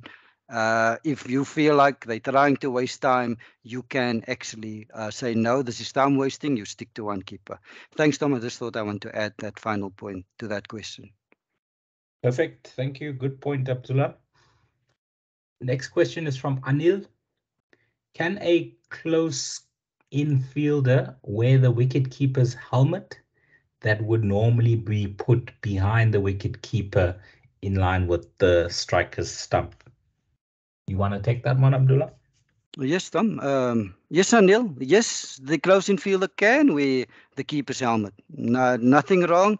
Can wear the keeper's helmet, but the only uh, two pieces of equipment that the keep that uh, none of the other fielders can use is the gloves and wear external pads. Those are the only two pieces of equipment that other fielders are not allowed to wear of the keeper. But any other equipment like uh, the helmet, yes, Silly Point is allowed to wear the key, keeper's helmet for safety if Silly Point feels like it. Over to you, Tom. Perfect. Thanks, Dula. Uh, next question is from Saturguna. If the ball is in play and strikes the towel hanging from a fielder's waist, is it considered to be illegal fielding or not? I will take this one, uh. Uh, if the towel is tucked into the fielder or the bowler's waist and the ball hits the towel while it is still on the person of the fielder, then it is not regarded as illegal fielding. Why? Because the towel is part of the fielder's person when it is tucked in. Similar to a cap, if the ball hits a fielder's cap while worn by the fielder, that is not illegal fielding because the cap is worn. So any piece of clothing or equipment while properly worn by a fielder or uh, tucked into that fielder's clothing as a towel is tucked in, that is considered as part of the fielder's person and shall not be considered as illegal fielding. Um, if the towel drops out of the bowler's um, waist while he or she is running up to bowl and the batter hits the ball, uh, so nobody saw the towel fall out of the waist of the bowler. Um, so the umpires didn't call and signal dead ball. And the bowler bowled the ball, and the batter hits the ball uh, down the ground, passes the bowler, and hits the towel that fell off from the bowler's waist. That will also not be considered illegal fielding. Why? Because the towel fell off the waist of the bowler accidentally. Remember, I mentioned the very important word is that a piece of clothing or equipment needs to be willfully discarded and only then if the ball in play hits that piece of clothing that has or equipment that has been willfully discarded will it be considered illegal fielding. So to answer your question, um, in this situation where the towel is still in tucked into the waist of a bowler or a fielder and the ball in play hits the towel on the waist, it is not illegal fielding. Next question is from Sagar. If the bails are already down and the fielder thought throws the ball to the stumps, the runner should be inside the crease, just hit stump, or it should completely fall down, or just at the instance when the stump comes out of the ground. So I think uh, Abdullah Sagar is asking when is the wicket down in this scenario? Uh, Tom, I don't understand the the question. Can you can um, you just visualize me the scenario? Just explain to me. Okay, so so the bails are already down. Um, Uh, they fell off accidentally by the wind or the the wind blew them off. Yes. Okay, and, yeah. And then a throw came in, um, and it just removes. Well, it just hits the stumps. Um, but what needs to happen for the stumps or, or the wicket to be down? Thank you for your question, Sagar. For that wicket to be down, if the bails um, accidentally, let's say the wind blew them off, one of three things. Firstly, the the any of the fielders must take the ball in one hand, the stumps in the other, and simultaneously remove one of the stumps out of the ground. That's the first way of putting that wicket down. Sorry, if the bails fell off accidentally. The second way of putting that wicket down is if one of the fielders uh, throw the ball goes against the stumps and it removes one of the stumps completely out of the groove. That is the second way of putting down uh, that wicket. And the third way of putting down that wicket is if one of the fielders with the ball in hand hit the hit the stumps so hard, let's say hits the leg stump hard enough to remove that stump out of the groove, out of the ground. So those are the three ways to put that wicket down when the bails when the bails were accidentally um, let's say blown off by the wind. So only those three ways. Um, um, that's how you can put the wicket down. Over Tom. Thank you, Abdullah. Very clear. Next question is from Satruguna. The striker accidentally drops his bat beyond the popping crease at the striker's end. Actually, I think this is at the non-striker's end when turning for the second run. Then, when completing the third run, the striker dives and manages to touch the edge of the bat's handle with his fingertips before the wicket at the bowler's end was fairly put down. So just picture this, Abdullah. Uh, at the turn for the second run, the striker drops his bat. So he made good his ground, but dropped his bat and then turned for the second run and then uh, turned um, also legally for the third run. And for completing his third run, because he was in danger of being run out, he takes a dive and he ends up outside of the crease with the bat handle in his hand and the rest of the bat, say the blade, is grounded beyond the popping crease. Out or not out when the ball puts the wicket down. So Drugna, the first answer out or not out, that is not out.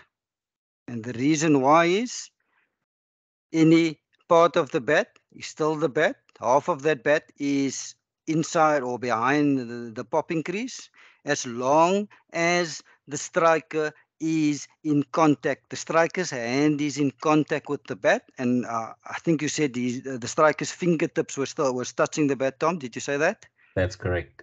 So as long as that fingertips are touching uh, that bat, that would be considered according to the law that the striker has got the bat in, in his or her hand, and i.e. in this case, striker is not out because uh, the bat is behind the uh, behind the popping crease, and the fingertips are still touching the bat. So all that needs to that fingertips needs to touch it, and in your example, it is touching, not out. Perfect, Dula, and I think um, also explained um, why that uh, batter in your picture was not out. Uh, sorry, was out because he was not holding the bat uh, with his hand or touching the bat with his hand. The bat was um, on his um, thigh and the back of his thigh, and that is not part of the hand. So that batter was out, run out, but this situation because the hand was touching the bat and the bat was grounded behind the popping crease. Um, Satruguna's example is not out. Next question is from Declan. Does there have to be an appeal if a batter is out bowled or is bowled? Abdullah?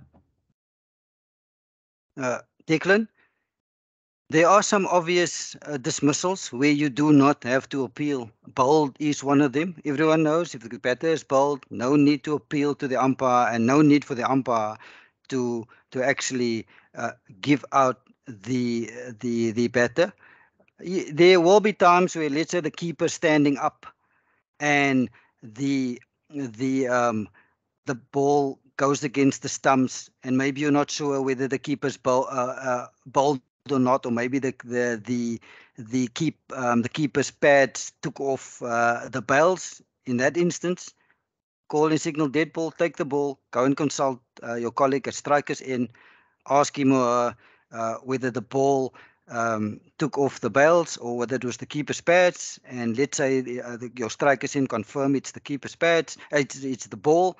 You then in that instance give the striker out bowled. But usually in in a normal bowl, uh, ball a ball goes through bat and pad, takes off the bails or take a stump out of the ground. No need to appeal. Similarly to to uh, ball gets hit in the air.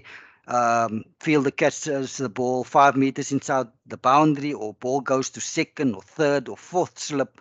Uh, there's no need um, to give the batter out. Um, although I've seen batters it's the ball to second slip and still stand, in those instances you need to give the batter out. But in usually, um, if it goes, to, you know, catches in the outfield, goes to third or fourth slip, no need to give the batter out. So yes, there are modes of dismissals which are obvious where you do not need they don't need to be an appeal and nor do you need to give the batter out because it's obviously it's obvious if they get bowled the batter will put the um the bat under his arm and and leave the field over tom thanks Dula. next question from saiga what if the one umpire gives a decision out and the other umpire wants to refer it um, i think you did mention this if mm -hmm. you mm-hmm. can just uh, repeat yeah, um, thanks for your question, uh, Sagar. There are nine modes of dismissals, and three of them falls under the jurisdiction of the striker's end umpire, which is hit wicket, uh, run out at the striker's end and stumped. All the others are falls under jurisdiction of the of the other uh, umpire. Each umpire can only answer appeals that falls within his or her jurisdiction if the appeal does not fall in your jurisdiction, you are not allowed to go to the other umpire and say, uh, uh, um, um, let's say Tom was bowler's end and I'm striker's end. There's a user appeal for caught behind. Tom say, not out. He didn't anything. I cannot go and say, Tom, but I heard it here from striker's end. Please give the batter out. That appeal does not fall within your jurisdiction. So you're not allowed to intervene. You're only allowed to consult in cases of where you want to check whether the ball uh, carried clearly, or in my case, where you wanted to check whether the batter was bowled or did the keeper maybe take off uh, the bails uh, with his or her pads. Uh, in those instances, you can consult, but usually if it doesn't fall in your jurisdiction, uh, you can not uh, interfere. Over, Tom. Thanks, Dula. Next question is from Justin. When does the wicket keeper who is allowed to bowl, when is he allowed to start bowling? Is he allowed to bowl in the second over? Is he allowed to bowl in the last over? Is there a restriction of when a wicket keeper can bowl? Abdullah? Uh, Justin, keeper can bowl at, at any time. If after one over, the captain feels like uh, wants the keeper to bowl the second uh, over for whatever reason. I can't think of a reason, but for whatever reason, uh, the captain wants the keeper to bowl the second over of, of the game. no problem. Keeper takes off his or her pads and gloves. Uh, one of the other nominated players puts it on. The keeper, uh, now uh, bowler, can bowl the second over. Whether it's the last over, the key, if the fielding captain wants, uh, the keeper to bowl the last over of uh, the game. Yeah, no issue. Keeper takes off his or her pads. Uh, one of the other nominated players puts it on, and the keeper can then bowl the last over. So, point I'm trying to make is at any time, the the if the fielding keeper wants uh, the keeper to bowl, uh, the law allows for it. Over, Tom. Thanks, Dula. Next question is from Damascene if the bowler is in his delivery stride and his hat is blown off his head just before he releases the ball, is this allowed or is this illegal? Dula? Yeah, just to confirm the scenario, Tom. So as the bowler is running in, uh, the the bowler delivers the ball, um, and then the keepers, the wind blows the keeper's hat off um, off his, um, uh, the blows the, the the hat off his head. Is that the scenario? No, it's the bowler bowling with a cap on, and the bowler's cap gets blown off in his delivery stride. Oh, okay. Sorry, I misunderstood the question. I'm glad that I've that I've confirmed it for clarity. So in those instances, you as the bowler's end umpire needs to intervene immediately. What would you do? You need to call and signal dead ball immediately. Why? That can distract the striker. So if you see that happens, call and signal dead ball immediately. It was the the the cap was uh, fell off accidentally. It was the wind that blew it off, uh, but uh, the the striker uh, can be distracted by the cap blowing off. US bowler's end umpire or either umpire can you know should intervene immediately. If I see that happen, I will immediately call and signal uh, dead ball, and then I'll ask the bowler to uh, uh, the ball. Over, Tom. Thanks, Dula. I think just to add to that, um, normally um, male bowlers do not bowl with a cap on. So if it's a male uh, bowling, I would uh, tell the bowler uh, as he is about to start his run up that he shouldn't be bowling with a cap on. He should give me the cap to keep uh, while he bowls the over. If it is a female bowler, um, females do like to use the caps to keep their hair in place. Um, so you do often see females bowling with the cap on, especially spin bowlers. Um, so you do allow them to bowl it. It is allowed to bowl with a cap on, uh, but just maybe before they start bowling, you should uh, ask them if their cap is uh, on tightly so that it does not fly off during their bowling run up or their delivery stride. Next question is from Sandeep. If a bowler is bowling with sunglasses on and the batter is requesting to remove the sunglasses as the reflection of the sun is in the batter's eyes, is it mandatory for a bowler to remove his or her shades, Abdullah? Sandeep, yes, you will ask the bowler to remove uh, his or her shades, and you will inform the bowler why you uh, you're asking the bowler to remove the the shades. It's because the reflection of the sunlight is going into the striker's uh, eyes, and it is distracting him. So yes, in that uh, instance, ask the bowler to remove his or her sides.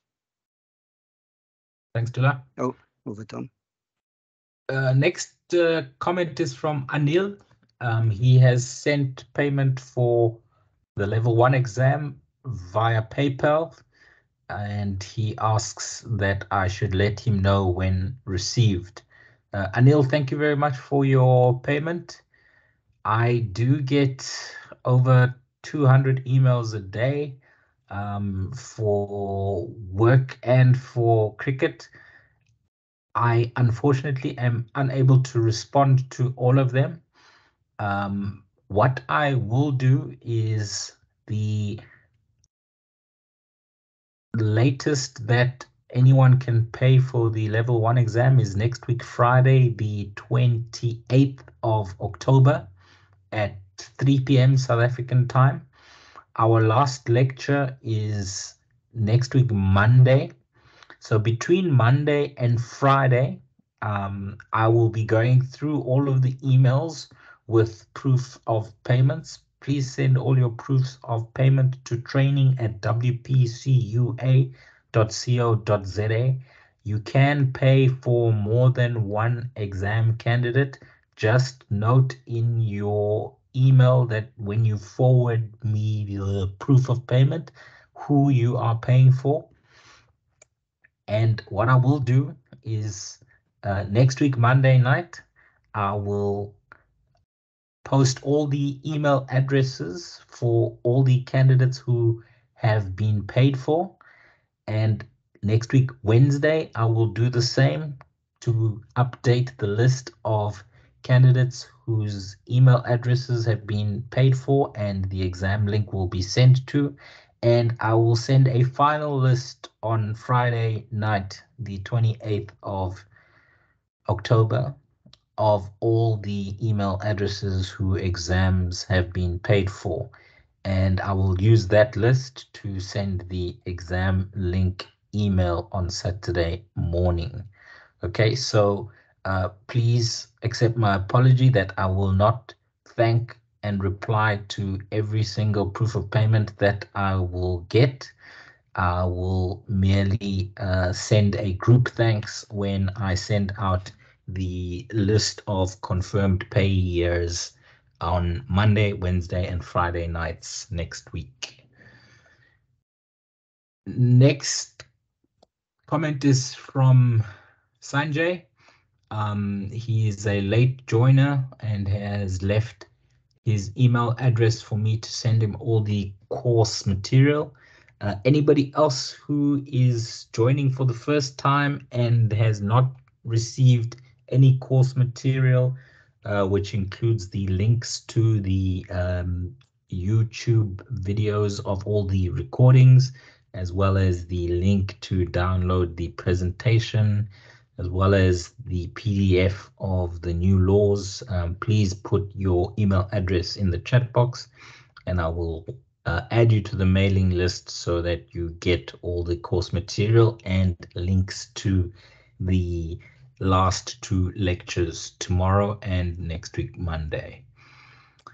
Uh, Dale asks, can the fielding team place a helmet or helmets in certain areas on the field to distract the batter and lure him to attempting to score five penalty runs by hitting the helmets? Uh, Abdullah, you want to take that one? Uh, yes, Tom. Uh, thanks for your question, Dale. Uh, the law guides us here when it comes to uh, the fielding team's helmets. They, according to the laws of cricket, there is only one place on the cricket field that you may place the fielding team's helmet or helmets, and that is behind the wicket keeper.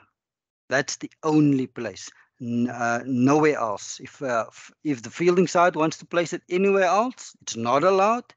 The law tells us it can only be placed behind the wicket keeper. Over, Tom. Thanks, Dula. Next question is from Ira. Ira asks, when there's bad weather and the wind changes the direction of the ball to the bails. Is it out or dead ball? So I'm not sure if the ball has been bowled here, Abdullah. Um,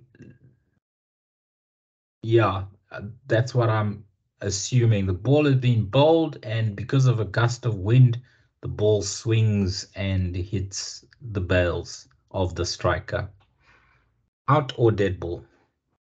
Yeah, yeah, Ira, the ball is in play. Uh, yeah, gust of wind came across. Uh, unfortunately, uh, if it hits the stumps, uh, the batter is out uh, bowled. It's unfortunate, but but yeah, a batter out bowled. If that is your if that is your scenario, ball being delivered, and as the ball is uh, going through the air towards the the striker, there's this sudden uh, gust of wind, and it now uh, uh, because of the wind, it now starts tailing into the uh, to the stumps and and it goes against the stumps. Yeah, unfortunately, the batter is out bowled. If that is your example, over Tom. Yeah, Abdullah. I mean, I think uh, bowlers are often trying to get conventional swing or reverse swing on the ball, and if it happens with the wind or against the wind, or if there is no wind, uh, then they've done well to achieve their plan of making the ball swing. So definitely legal delivery and out bowled. Sandeep just wants clarity on his uh, bowler's shades. Uh, what if those glasses which are making a glare into and distracting the batter's view are prescription glasses. Does the bowler still have to take them off, Abdullah? Uh, Sandeep, the, the the law protects the batter from being distracted in any uh, in any way. So if the shades, and I'm assuming this, these are now sunglasses that you that you're re referring to. If the sunglasses, if there is a reflection from the sunglasses into the eyes of the batter, the batter gets protected uh, by the law. If the batter gets distracted in any way, in this case by this by uh, the sunglasses, you need to ask the bowler to, to remove it. Uh, usually, if the bowler uh, has uh, wears uh, spectacles, uh, then and if it's uh, the bowler will and, I, and I've seen bowlers have um, prescribed sunglasses, but they also have a normal pair of of glasses. So I'm sure that bowler is the sunglasses is not the only prescribed glasses that he or she is wearing uh, you you can ask the bowler then to to, uh, to put on the other the other glasses that's not sunglasses and to bowl in. Uh, Tom, I don't know if you want to add anything here, but as far as I know, as soon as the batter gets distracted, the, the, the law comes in here and um, the law tells us that um, batter gets distracted, we need to intervene. I fully agree with you, Abdullah. Uh, prescription sunglasses, yes, they can be shiny and cause a glare from reflection, which distracts the striker.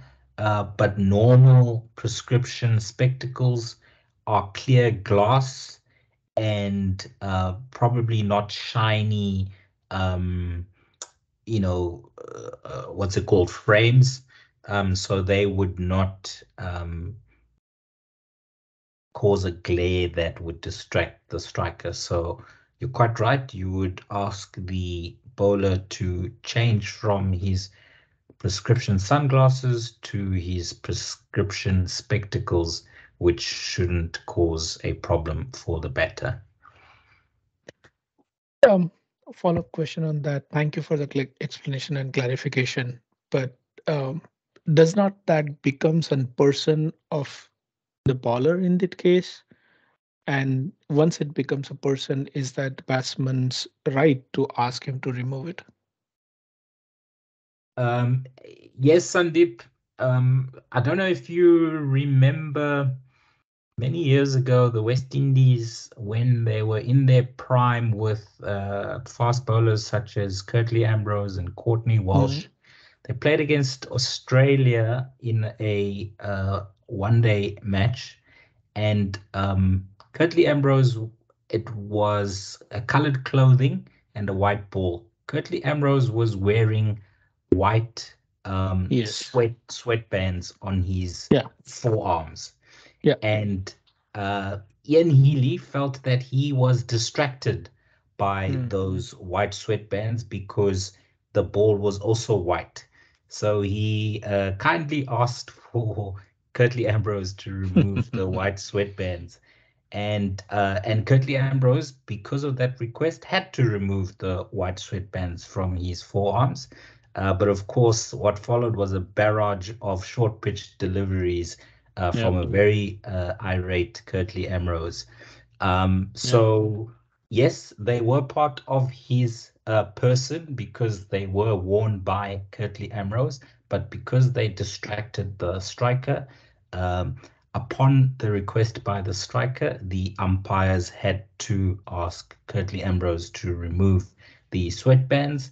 And similarly, um, if a striker is distracted by the glare that is made by the reflection of the bowler's sunglasses, then unfortunately the bowler will have to take them off. Um, the fielding side and the bowler will probably be upset with the striker, but yep. um, it is a batsman's game, as we often hear, and so mm. they will have to remove the sunglasses. Okay, um, I did ask this question based on my recent experience where this incident had happened and I requested Bowler to change his glasses, but mm. he was absolutely upset with my request and of course uh, uh, you know the action that I asked him to take, and um, mm, batter was in his right to to ask him to remove those. But I also remember one incident or or one um, one uh, incident, yeah, when Australian bowler was uh, or has his hairs uh, colored with the shiny blue color. I'm trying to find out that video though, mm. um, and which has also been getting distracted uh, to the batsman. In this case, now can we ask them, ask the bowler to wear a cap to to not to get distracted for the batsman? Good question. I have seen that uh, that video. Video. And, mm. um, I'm not sure actually what the umpires, if they did intervene, if the striker did uh, mention that he was distracted. Uh, but yes, I think the only um, way to hide that distraction would be to to wear a cap. Um, and again, uh, the cap would have to be tight so that it does not fly off wow. in the bowler's run up or bowling action. I hope that answers your question. Yeah. Yeah. Thank you. Great stuff. Uh, I see it's also answered uh, Dale's question, um, who was asking if a uh, male had long hair and wanted to wear a cap or a headband uh, to keep the hair in place. Uh, yes, we do allow uh, males to bowl with a cap if they so wish.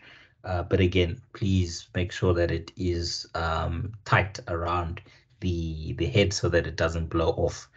A um, a veteran spinner for the club in Cape Town called Pinelands Cricket Club um, played for many years, and because he was bowled for most of his career.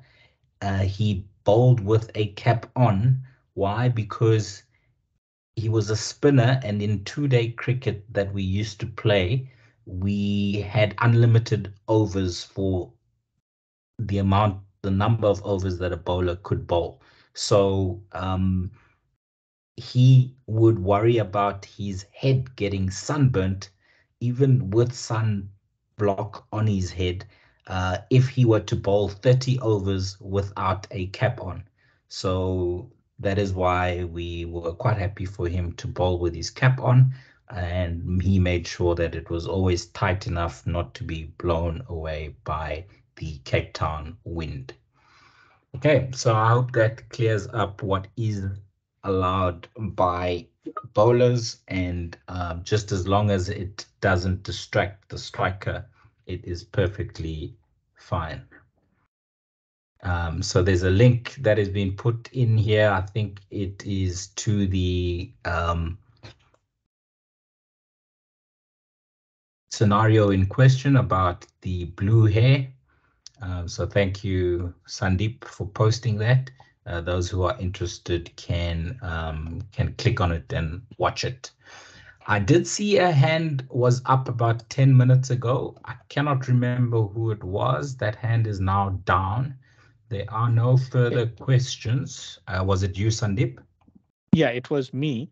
Okay. And I I believe I think there was an uh, a follow-up question on one of the questions answered, but I don't remember now. If I do, I would post it in chat. Thank you. Okay, Perfect, Sandeep. Hopefully it was maybe answered in uh, one of our other scenarios. Uh, if there are any other questions, this would be your opportunity to uh, raise your hand and we can uh, go through them uh, one by one. Um, if not, I'd like to thank you all for your attendance and participation. Uh, we shall be meeting up okay. again tomorrow, same time, same place. I will be sending a new meeting link. Remember that there is a new link for every meeting. Uh, some people are having problems uh, connecting to our links. Uh, please try another device or uh, delete Teams on your device and re-add the application. Uh, somebody did that earlier this evening and was able to join after reinstalling Microsoft Teams on their phone. Sandeep, you've got your hand up.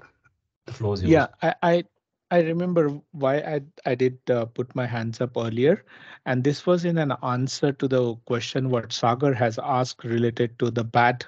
The batter has actually left the bat while running the second, or he he dropped the bat, which is the blade inside the crease, but the but the handle is is is out. And while completing the third run, he dives and just just touch to the handle um, of the bat would it be considered as out of his ground or not? And I believe the answer was given as not out. Um, so the counter question to that or follow-up question to that was um, the scenario in this case, what Sagar has narrated was related to the the scenario where he has dropped the bat while running the first run. And then while completing the third run, he dived and touched the bat, which was already there um, at the end of the first run. In so, is this still answer? Is that he's not out on his on his third run completion? Yes, I think that's exactly the scenario that Sagar described. Is there a difference? Hmm. No, it's the same scenario, but I just want to double double check on the answer. Uh, is it is it that still be called as not out? Correct. As long as the hand is in contact with the bat, uh, then the the the batter will be considered as inside the ground because uh, the bat, if in contact with the hand, is considered to be part of the batter. So in that case, he's not, not actually making the whole ground until the popping crease, but he he's running a maybe a, a meter or meter and a half short and just touch to the handle, which was all the bat, which was already been left there at the at the completion of the first run. Yes, Sandeep. I mean, you will see when uh, batters are running, uh, they never go into and turning. They never go into the crease mm, themselves. Mm, they just mm. put put the bat over the popping mm. crease. This is this is very much a similar situation. Similar scenario. Just that the okay. the bat is on the ground. But okay. as long as Thank you. It, as long as the hand is in contact with the bat, then the bat belongs to the batter. Okay, so so this is Karthik to to make it more interesting. This was already discussed. Uh, say like uh, we have seen, I mean, players um, grip, though it is on the handle, some part of the grip may get protruded. I mean, they don't have the habit of, uh, I mean, they have the habit of text, for example, Sourav Ganguly. He has the habit of protruding the glove, I mean, some region from the handle. So even though uh, the grip is on the handle, if he touches that grip with the glove worn on the hand on the bat which was dropped for the earlier run. So is that considered as a bat being grounded behind the popping crease? Uh, yes, the grip is part of the bat. So um, if no, but it is touching only the protruded region, which is not on the handle. Um, Karthik, the grip yeah. is part of the bat, protruded or on the bet. It's part of the bet. Okay. Okay. Okay, Tom. Okay, Abdullah. Thank you. You're welcome, uh, Karthik. And um, once again, thank you for all of you joining us this evening and your interaction. That's how we all learn. We shall meet up tomorrow again at uh, 18.30 South African time. I will send the link for tomorrow's meeting later tonight. I hope you've all enjoyed and learned. Thank you and good night. Thank you, Tom Abdullah. Good night. Thank you. Everyone. Thank you, everyone. Yeah. Good night, everyone. Bye. Good night. Bye. See you tomorrow. Bye. Night.